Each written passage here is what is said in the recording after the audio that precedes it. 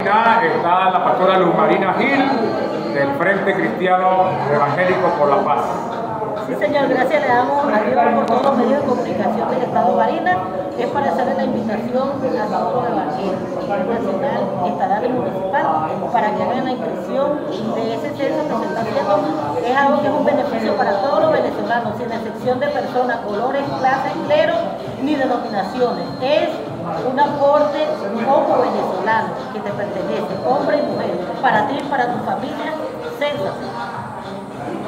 Para desde calle Barinas en la Cámara de Pedro Álvarez y el señor Octavio Lugano.